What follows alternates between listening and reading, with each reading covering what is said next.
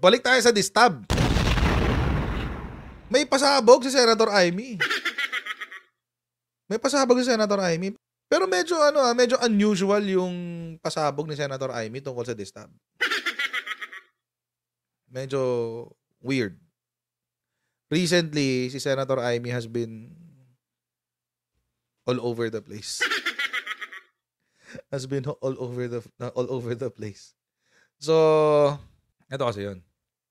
Alleged distab plot versus Marcos admin coming from the inside. Inside job pa pala.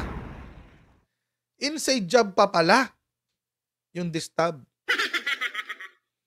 Ang sabi, Senator Amy Marcos on Thursday said she believes the alleged destabilization plot against the administration of her brother is coming from the inside. Interviewed on Super Radio DCWB, Senator Marcos said she already discussed the alleged plot with President Marcos, who said was a bit skeptical about it. Medyo weird naman talaga kasi talaga yon mga kojero. Medyo weird talaga yon. Pero bago natin gawin yan, as usual, mga kotsero, mag-shoutout muna tayo sa mga kaibigan natin sa Sendwave! So kayo po ay nasa US, UK, Canada, Italy, France, Spain, Ireland, and Belgium, may pwede pwede na po yung magpadala sa Pilipinas gamit po ang inyong uh, cellphones, okay, sa sa pamamagitan po ni Sendwave. Ang gagawin nyo lang, i-download ang Sendwave app, mga na account, lagay nyo ba ang account details nyo dyan, at pwede pwede na magpadala sa GCash, sa mga bangko, at iba't ibang mga pawn shop. At kapag ginamit mo pa kayong promo code na Coach Jared, ay makakuha kayo ng karagdagang $20 free credit sa inyong unang padala. Kaya mga kotsero, gamitin na si Sendwave for all of your remittance needs. Needs. Nasa linya natin, Chairman ng Senate Committee on Electoral Reforms and People's Participation, Senador Amy Marcos. Senador Amy, si Igan tsaka si Goni, good morning po. Good morning po. Good morning! Kumusta naman kayo? Happy Wow. New Wow. Year! Energy. I kahit love the energy. mga ali. Magpapail ka raw ng reso ba o para imbisigahan itong ah, umiikot na ang chip naman, sandaang piso for People's Initiative? Kaya nga, eh, pambira naman, ibibenta ba naman ang konstitusyon sa 40 peso, Diyos ko. At ah, nag-file na ako, final ko na na. nakakainis eh. Oh. Dahil kasi nga, lahat ng mga district, yung ating mga kongresista, pati mga mayor, abalang-abala, nagtatanong, Ma'am, ano ho ba to? Pinapapirma kami. Pero, ang ah, kumakalat ng mga video, sinasabi na yung pamimigay ng ayuda sa AIX, tupad at iba pa, eh magiging batas daw kapag pumirma. Ang nakasulat naman na tanong, eh kung uh, boboto daw yung Senate at saka yung House, House. tungkol sa kong sa Constitution, ang labo. Hindi mo maintindihan. Oo. Sabi nga nila, ma'am, ah, 100, eh, di ba napakaliit. Oo. Pero sa totoo, ang, ang ah, nabanggit niyo po, eh, may 20 million per district, no? Na ino-offer. Parang ganun ang alok eh. Kasi may 5 million AIC sa DSWD, Oo. tapos yung MAIP yung sa DOH, tapos sa DSWD at DOH, meron pang 5 million sa Mhm. tupad ng DOLE. Total is uh, 20 million kada distrito. So, Parang, At uh, oh. mag-produce daw sila ng 20,000 na signatures Aba. by January 13, last day. Pinabulaan na po dito sa amin mismo Mm. ng ah, DOLE at saka ng DOH, although hindi daw sila investigating body, pero welcome Walang daw po ganun. sila Mm. na makipag-participate sa ganitong mga allegation na Senador. Tama, kasi dapat uh, ipagtanggol nila yung sarili nila. Alam naman natin, itong mga programang to, mga emergency funding, Yes, nag-umpisa yes, to oo. ng COVID, at ah, kapag may pinsala, pag ah, may bagyo, lindol, at iba pa, yan talaga ang binibigay sa mga hindi nako-cover ng 4Ps. Mm. Eh ngayon, bakit naging pantay-pantay lahat ng distrito? Lahat ba linindol? Lahat ba binagyo? Ano ba yun? Mm. Kaya nakakapagtaka.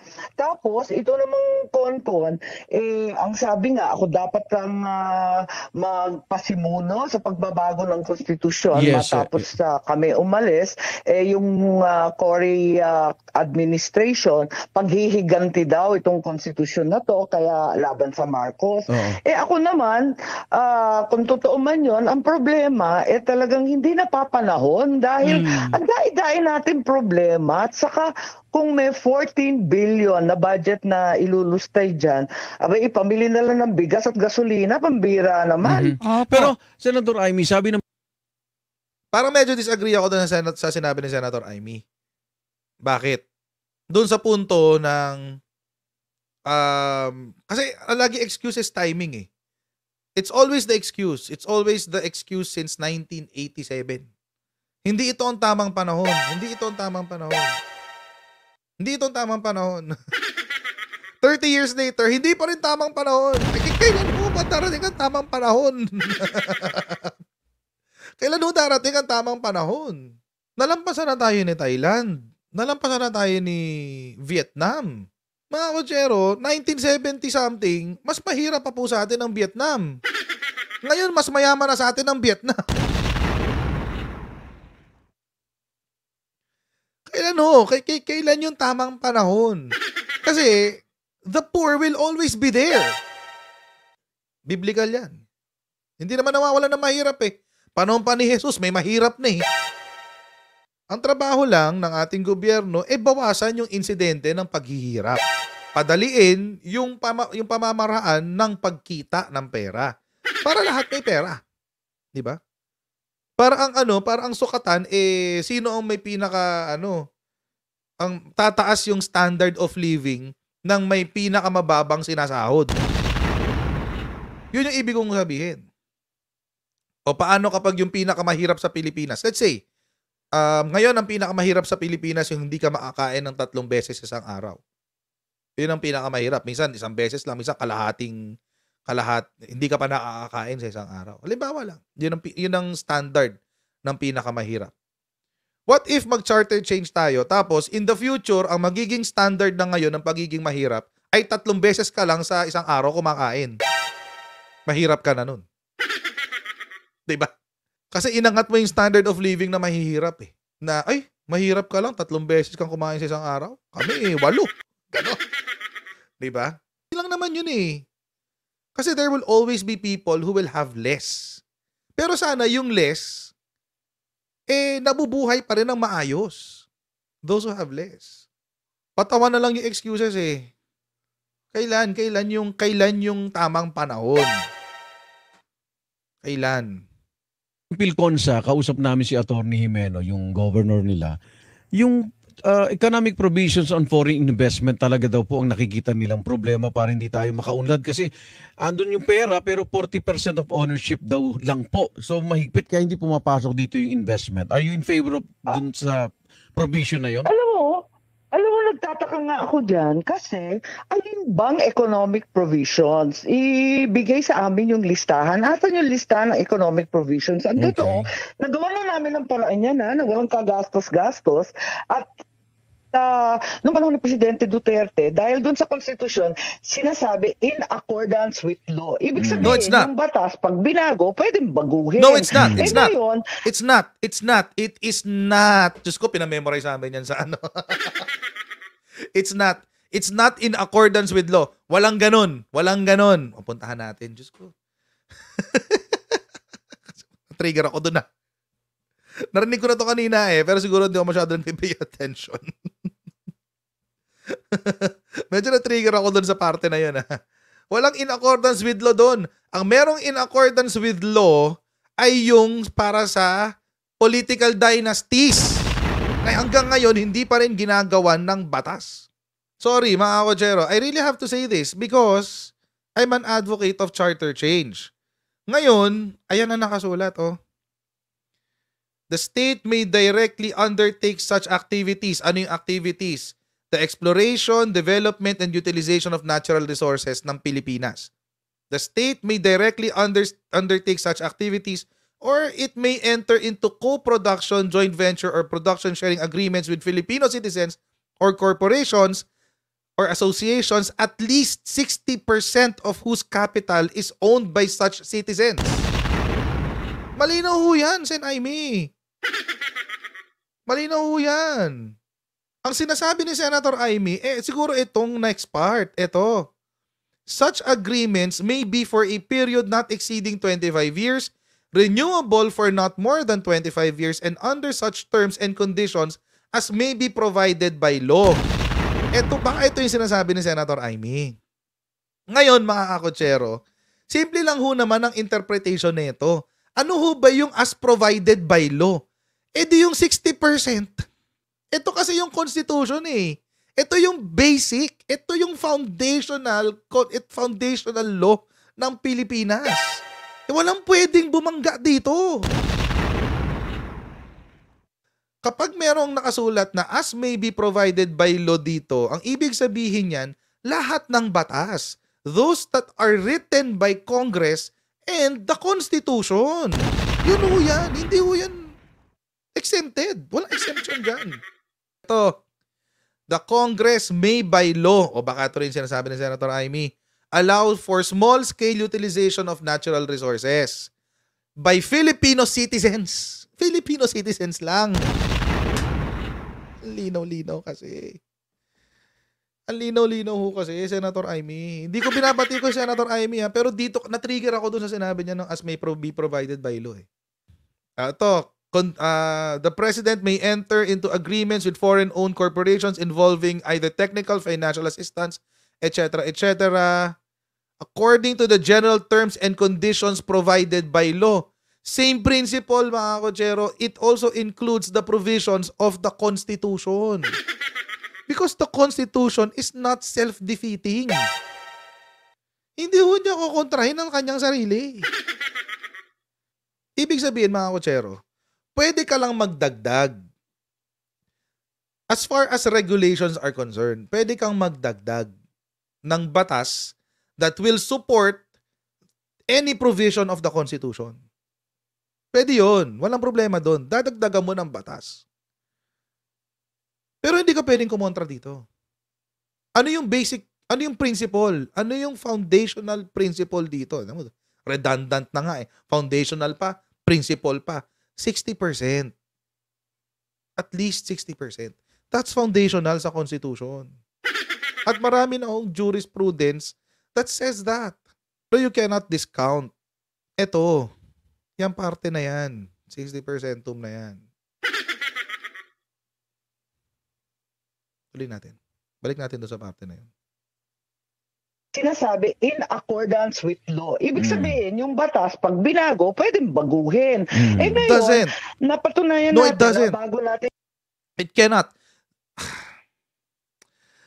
Yung constitution do hindi ho, it's foundational nga. Ibig sabihin, sa ligang batas. Kaya sa ligang batas, ibig sabihin, yan yung pader na sinasandalan ng lahat ng batas sa Pilipinas.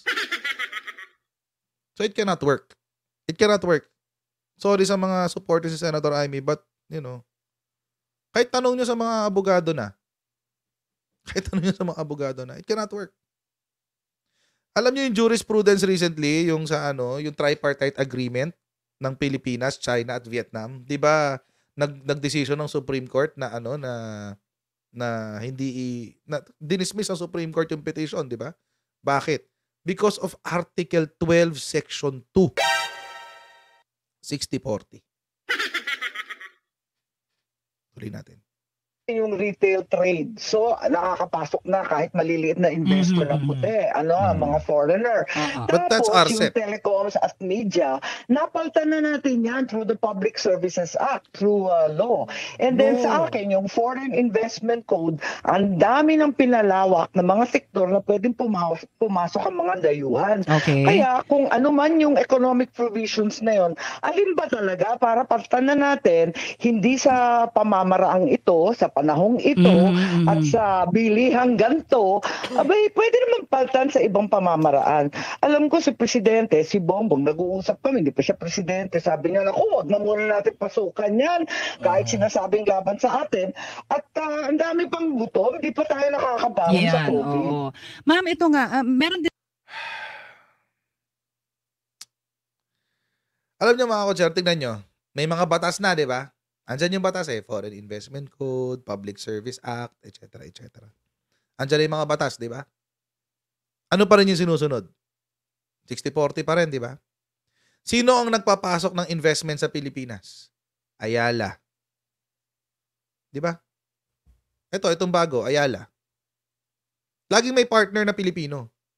O ito, si NGCP. Since na-mention si NGCP. 40% China.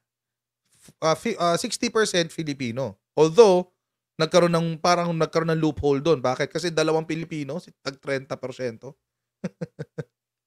Nakagulat nga, pumayag ang ano dyan, Pilipinas dyan. Eh. So, ibig sabihin, mga kotsero, makakapasok lang ang negosyante sa Pilipinas pag may mga mamumuhunan na 60%. Sinong ordinaryong Pilipino ang may bilyon-bilyong pera para maipag-partner kay Starlink?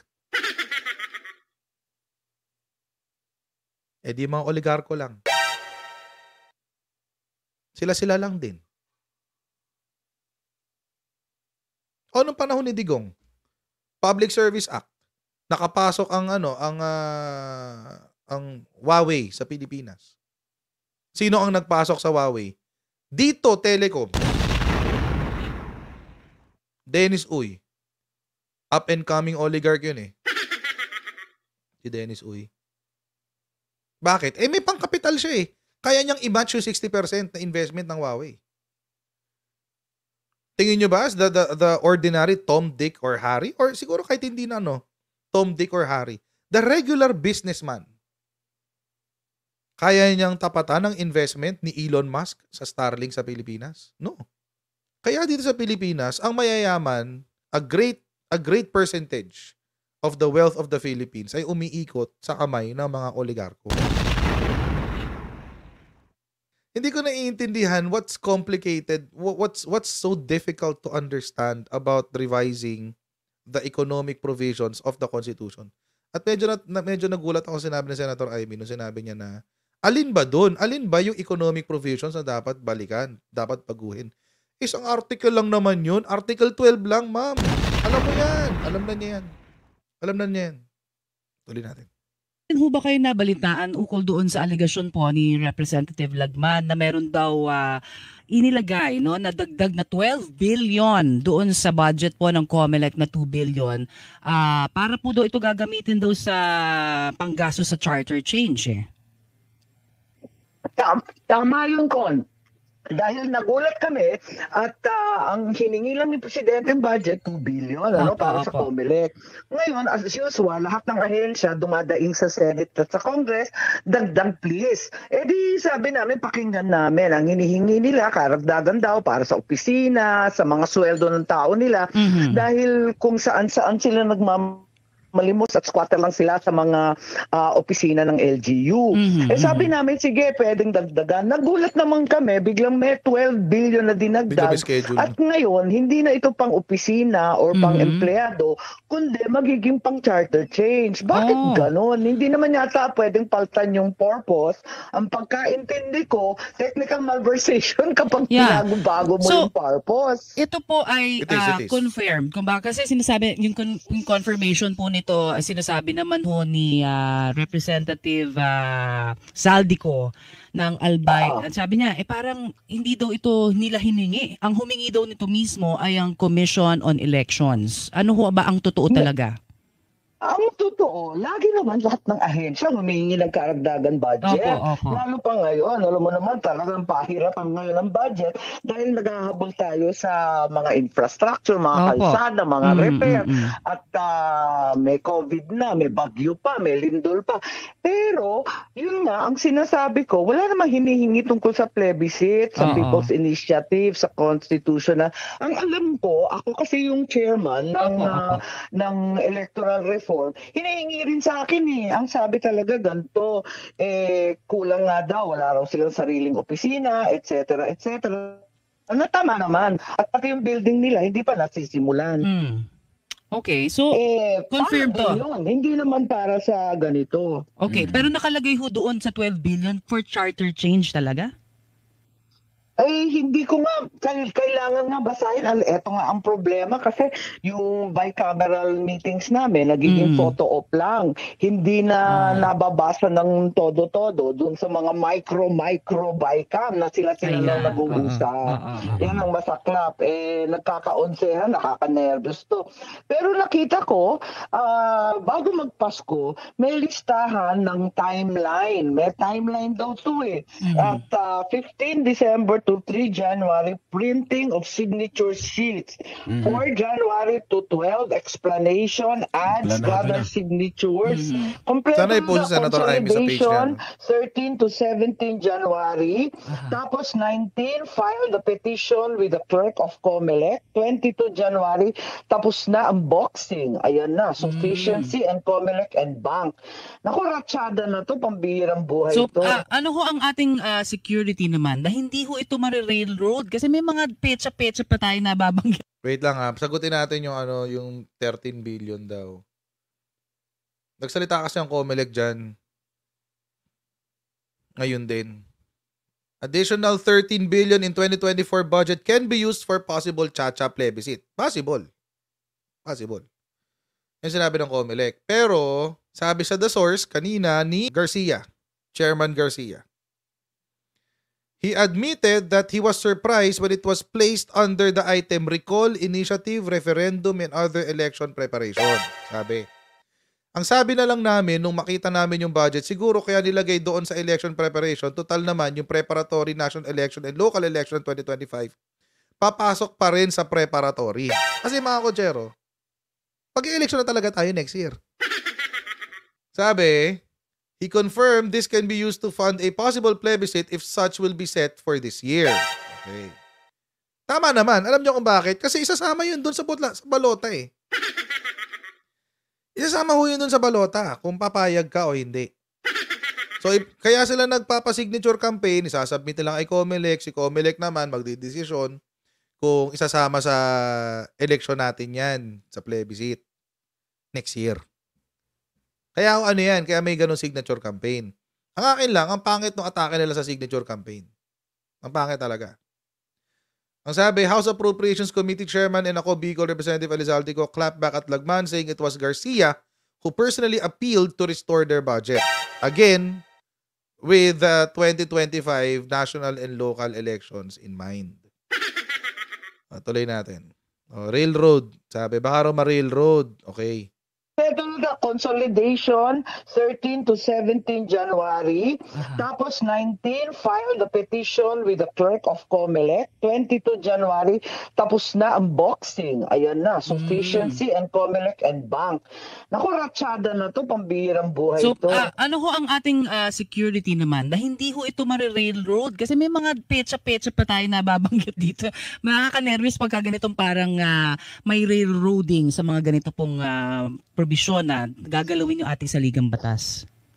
Tama nga eh, kasi nga, eto nga, umaalma nga yung mga senador pagkat ah, gusto nila, boto, boboto daw kami ng sabay-sabay. Eh, be, 24 lang kami. Mang, Mali yun. Mali talaga yun. Mali talaga yun. sila.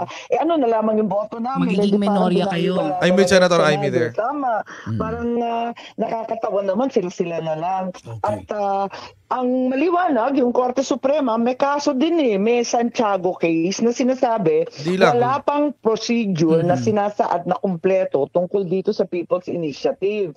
Hindi pa sapat yung proseso. Pero definitely, itong santong paspasan na ganito, eh talagang hindi po pwede yan. Okay. Mm. Senador, Um, agree ako doon sa punto na yon kay Senator Amy. Na merong merong mali sa proseso ng pagkuha ng quote-unquote people's. I don't even believe this is people's initiative. Kasi hindi nila sinusunod yung proseso eh. Meron naman ng jurisprudence dyan, dalawa. Sinabi ni Senator Amy, isa lang. Santiago versus Comelec. Tsaka, meron pa isa. Lambino versus Comelec. Dalawa yan. May jurisprudence na dyan na nagsasabi kung paano dapat ginagawa yan. So, may malinaw na nabas yan. At hindi ito yon hindi ganito yung proseso dapat. Hindi ganito. Meron din akong kaba na baka parang nire-railroad. At saka ang pangit nung, sabi ko nga sa inyo, di ba, ilang araw ko nang sinasabi to. Ilang araw ko nang sinasabi to. Bakit yung nakasulat doon sa People's Initiative na gusto nilang gawin ay hindi Article 12 kung saan nandoon yung economic provisions. Bakit ang nakasulat doon sa kanilang ano, um, pinapakalat na pinipirmahan, eh Article 17, kung saan ang pamamaraan kung paano binabago ang konstitusyon. Ang gusto nilang gawin, yung Section 1, Paragraph 1, eh palitan nila na instead of uh, the Congress voting uh, with the three-fourths of the majority, eh dadagdag- dadagdagan nila ng jointly. Jointly at the call of the Senate President and the House of Representatives. Ibig sabihin, pagsasamahin yung dalawang kamara sa botohan ng charter change. So sa ibang bagay, bicameral tayo. Pero sa pagdating sa revision ng Constitution, nagiging unicameral tayo. That is a change in principle. Hindi pwede ang People's Initiative dyan. In-explain ko na yan isang araw pa. Ang People's Initiative is for only for amendments, not for revisions. At ang gusto nilang gawin dito sa pinapapirmahan nila is a revision of the Constitution. Ag- agree ako din sa sinabi natin ni Senator Amy. Parang minamadali. At hindi ako agree doon sa minamadali. Or tumutol ka sa Maharlika funds? That's right. That's Okay. right. May mungkahi na yung pondong yan, eh baka pwedeng tulungan ng NGCP matuloy yung mga proyekto para Off hindi na topic maulit bigla to itong si ano. malawakang brownout dito sa Off topic Panay, bigla si saka Arn sa Arn ah. Mm-mm. ah, area. Ah, are you in favor? Ako nalilito doon. Kaya nga, sinasabi ko, nalilito talaga ako. Kasi in infrastructure and investment fund ba yan? O sovereign fund ba yung Maharlika? Kaya nga hindi ako bumoto kasi hindi maliwanag. Tapos papasok-pasok sa private venture. Eh, private venture yung NGCP There's na nabigyan ng prangkisa. Yung NGCP, halos taon-taon, iniimbestiga. Paano? Halos 80% ng kinikita, binabalik sa mga may-ari. Hindi linalagay sa Mm. capital investment. Oo, oo. Pambira naman, bakit naman binubulsa? Eh, ang usapan, i-modernize nila, eh yung Which proves my point.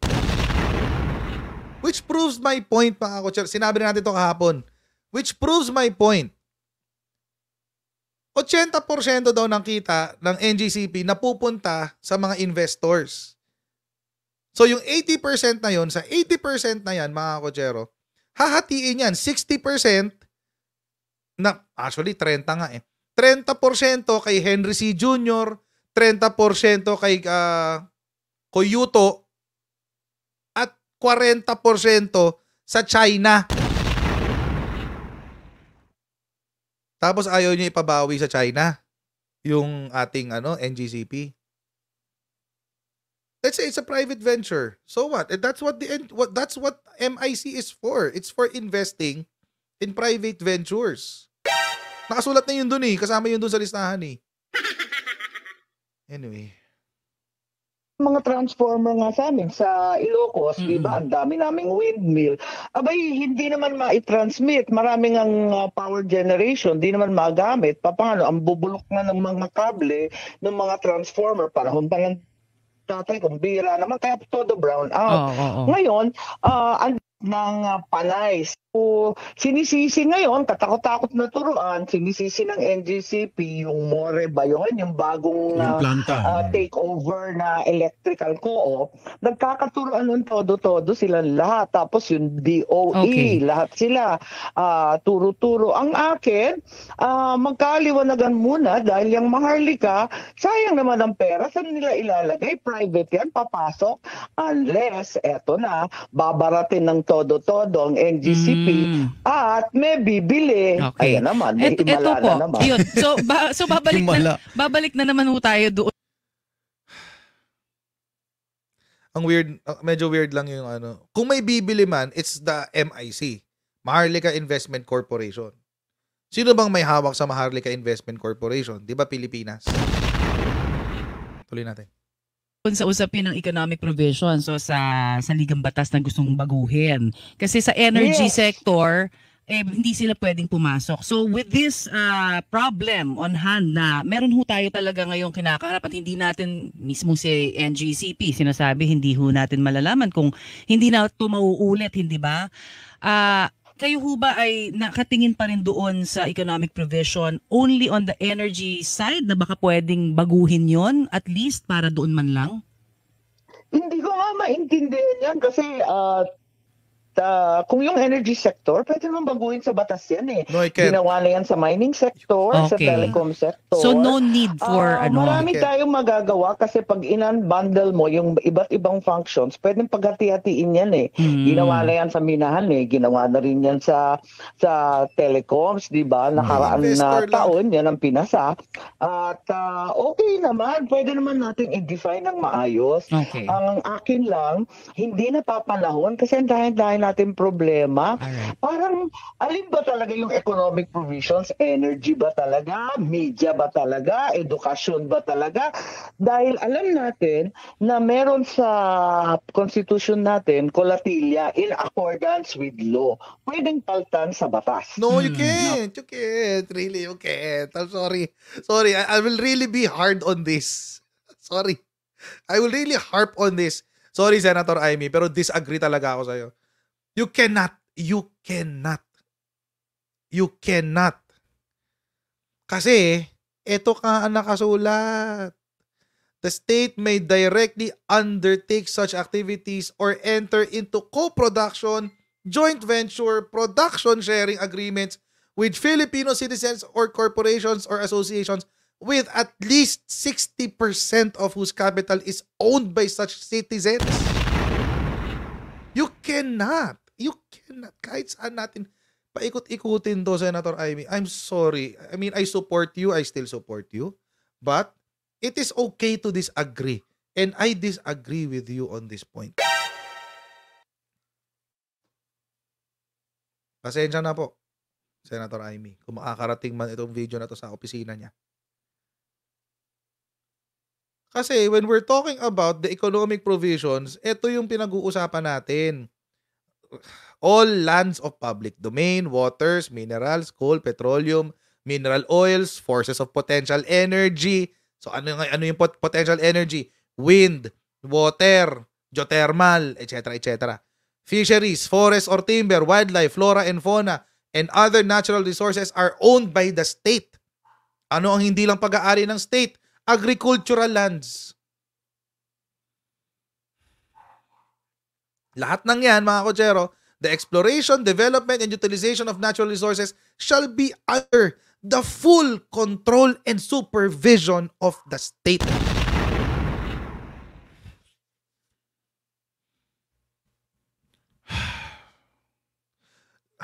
I'm sorry, Senator Amy, pero lahat po ng sinabi nyo tungkol dun sa economic provisions, I think all of them are just excuses.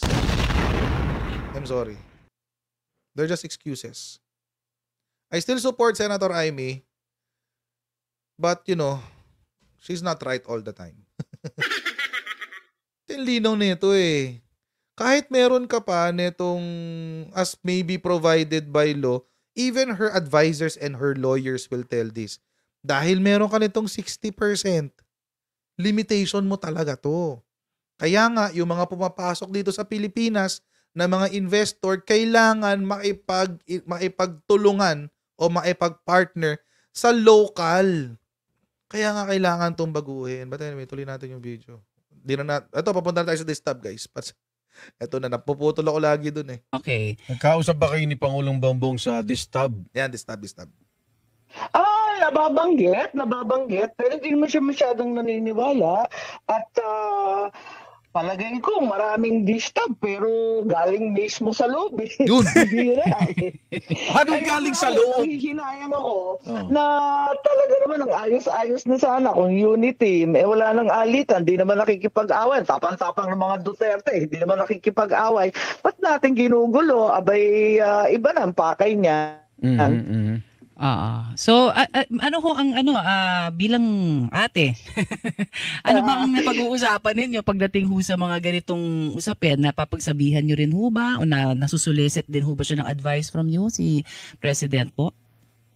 Well, napapagsabihin, kung minsan na iirita, syempre, kasi ah ganyan naman ang papel ng manang, di ba? Sasabihin mo yung totoo, eh palagay ko naman, hindi naman po pwedeng sistemang ganito. Kaya, ah mabait ang kapatid ko, pero mahirap magalit. Kaya Mhm. magdahan-dahan sila. Ako, Uy. ah, mas madaling kausap, kahit mainit ang ulo. Ang brother ko, matagal, bago magalit. Kaya, ingat. Mm, teka, Oh. may meron lang akong ano ha, mga Pahabol. pahabol na mga tanong kasi nabanggit balikan ko lang ulit ma, Senator yung sinabi ninyo na no, napag-usapan ninyo noon ni Pangulong Bongbong po na wag na munang mag-chacha, di ba? Wag na muna ganyan. Yes, oo, Pero- ayaw na ayaw niya. Bago pa siya maging pangulo. Yes, bago pa siya maging pangulo. Pero ah, may, Totoo may naman nag-iba ba? Kasi may Pangulo nagsus- na siya eh. Oh, may nag-iba ba doon sa kanyang stand? Kasi ho, may nagsusulong sa baba, hindi ba? Sino ang tingin ninyong nagsusulong Baka nito? pwedeng batukan niya. Ah, ah. Oo naman. Hindi ko alam. Mukhang ah, maliwanag naman na si Speaker gustong-gusto na magkaroon ng charter change. May ibang mga ah, mambabatas na gano'n din. Sa Mm. Senado meron, sa Congress meron. Okay. Pero itong sistemang ganito na paspasan, kasi kung tutuusin, ang kulit nila eh. Dahil ah, nagkaroon na ng dalawang BICAM resolution na talagang ayaw ng Senado. Mhm. Tapos ikatlo na to, People's Initiative naman ang pakala. Oo. So, ibig sabihin, ah may tumutulak talaga at ah, palibasa walang linalabas na detalyadong listahan ng ah, ng ah, economic provisions. Nagdududa ako baka hindi Meron na ito kay Senator. Robin. Papalitan Okay. na ng parliamentary Pero- para kung ma-pull off itong People's Initiative, pwede na rin i-pull off ang parliamentary. Basta Para wag lang- sila na lang magbotohan. Basta wag lang public funds ang magalaw dito, Senador. Hindi Well, lang yun. Hindi lang yung public funds. Mhm. Eh, ang problema dito, yung ah, constitution na Tsaka yung power. ah, Mm. Oo, pwede mo na lang ah, gawin ng basta-basta. Paltan mo na lang sa mababang halaga ng 100 pesos. May 40 pesos pa Grabe, nga no? eh. Oo. Ah, may 40 40? pesos, may nambubukol na. Tapos kung matigas daw ang ulo, may 1,000 pesos pa. Aba, aba. Ay, nako. Baka tutukan natin to. Kaabang-abang yung investigasyon na yan ng Senado. Oo. So, ah, again, ah, Senator, ngayon may nag-iba ba doon sa posisyon po ng Pangulo ah, compared to bago ho siya maging Pangulo na ayaw niya nitong Sa Chacha? Chacha. Well, I think nabanggit niya, di ba, na pag-aaralan. Wala naman na nagbago. Sinabi ng pag-aaralan. Eh talagang Mm. sa katakot-takot ng pag-aaral tungkol dito sa mga provisions na to. Delaying At tactics na alam naman natin lahat na maraming dapat baguhin. Wala Mm. naman tumututol noon. Mm. Ang akin lamang napapanahon ba? Tama bang gumastos ng ganitong kalaki sa panahong ito? Ah. Tapos itong People's Initiative, hindi ba ma malabo ito at hindi pa na isa sa ayos ang proseso? Mm, So maraming katanungan, imbes na pumasok, mang alanganin, at hindi na lang pag-usapan at siya sa atin isa-isa. Okay. Alright. Senador Amy Thank you Marcos. Yun. Circle Sports PH, salamat sa yung super chat. Di ko pala nabasa yung super chat na kanina. Anyway. O, so yung nagsabi, nang galing daw sa loob yung distab.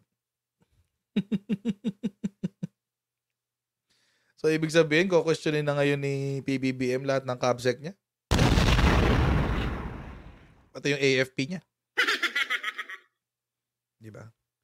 Or ang sinasabi ba niya, ang sinasabi ba ni Senator Amy eh, nasa loob, meaning nasa circle nila? Nasa circle ng Congress? Kasi sila sila lagi magkasama eh, di ba? Congress tsaka executive. Ah, sa ano? Sa lower house. Di ba? Baka daw doon. Hindi natin alam. Kasi si Martin Romualdez daw yung nagtutulak ng charter change. Um, ano yun, di ko tuloy, feeling ko tuloy, ano eh, feeling ko,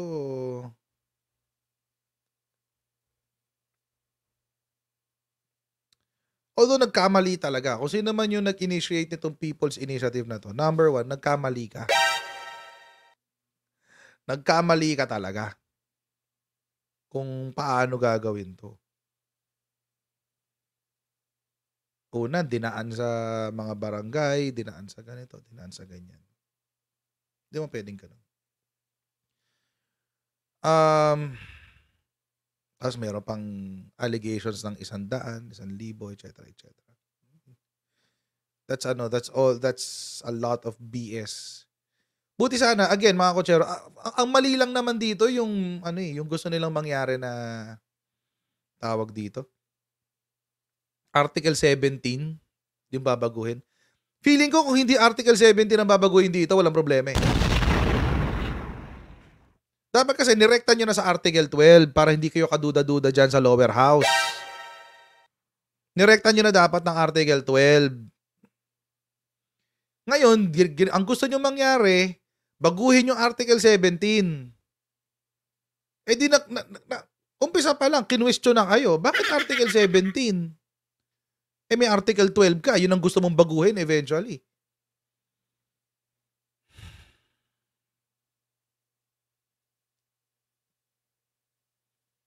Yun lang naman. Ganun lang kasimple yun. So ngayon, ko-questionin talaga. Maski ako kinwestiyon ko eh. Ako wala akong, I have no love lost for the House of Re- Representatives pero sinusuportahan ko ang charter change. Pero dahil sa pamamaraan nila, kino-question ko na rin. Lalo yung gusto nilang baguhin na provision. Article 17 talaga? Akala ko ba sa Martin Romualdez, sabi nyo, economic provisions. Ba't di kayo dumiretso sa Article 12? So, yun. It's very questionable. But at the same time, at the same time, it's so question questionable din na ano ba to? Sinisiraan lang ba yung charter change? Gusto ba nila magkaroon lang ng ng ng ah, pangit na imahe ang mga Pilipino sa charter change? Yun lang ba? Yun lang ba ang nangyayari dito? Nagkaroon sila ng pagkakataon na siraan ng charter change kasi pumalpak yung kabila sa gusto nilang mangyari. May ganong angulo. Ganon yung isa ko pang iniisip.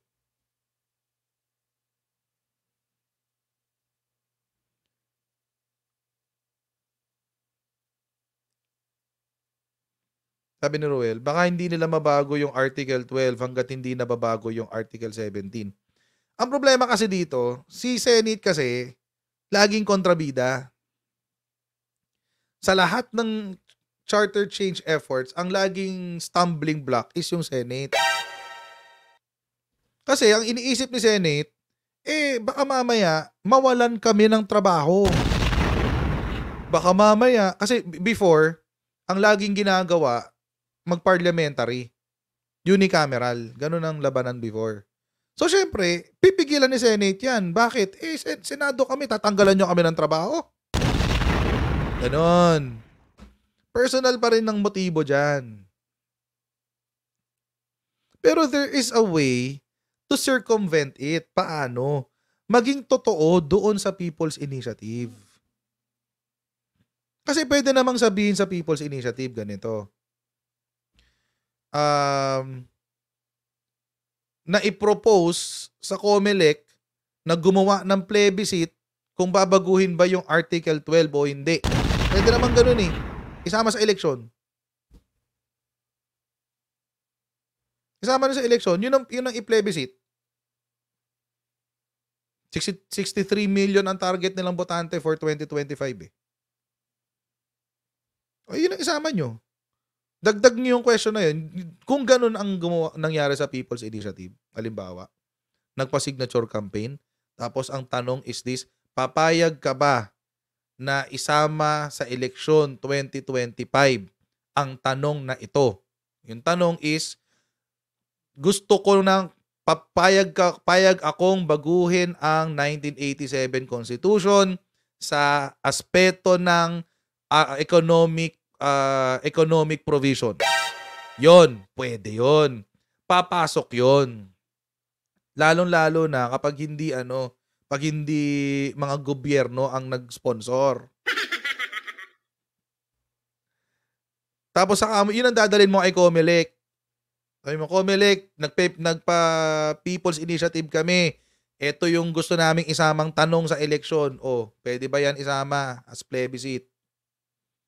From there, kasi dahil meron ka ng eleksyon, may pinagbasihan ka ng numero eh. O, ito yung gusto ng taong bayan, mag ano, baguhin ng economic provisions. O, saka kayo pag-decide. Magko-con-con ba o con-as? Matagal lang to. Pero nagmo-move forward. Pero matagal. Every elections mo gagawin yan. Pwede naman yan eh. Kaya minsan alam niyo, isa iniisip ko, hindi kasi disiraan na lang ng ano, ng mga kontra sa charter change yung ano, yung proseso ng charter change. Kasi ang OA na eh, medyo, di ba? Medyo OA na eh. Naisip ko lang naman yun. Ako lang naman. Pero at the same time, kung ginawa nyo kasi ng tama, o sino man nag-umpisa nito sa lower house, kung ginawa nyo ng tama, edi walang question. Baliw-baliw kasi kayo. As always, mga kochero, maraming maraming pong salamat sa inyong patuloy na pagsuporta. And um, please don't forget to subscribe sa Coach Jared YouTube channel. And pa-follow na rin po tayo sa ating Facebook page. And mga kochero, I need your help sa aking Facebook page. Sha- extended shadow ban ako. shadow ban pa rin ako hanggang ngayon. Could you believe it? So, I would need your help. Um, limitado ang aking reach. So, please, please, please do share our videos sa Facebook. It will help me a lot. Maraming maraming po salamat. And I'll see all of you in our next Coach Jared Live. Alright, God bless and see you next time. Bye-bye.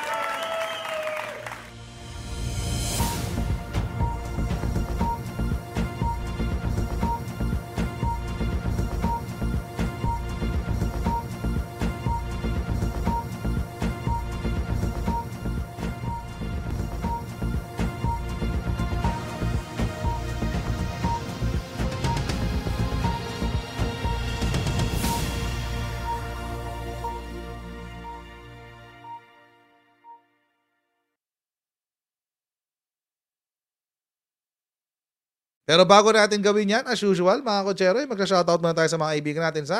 Yan.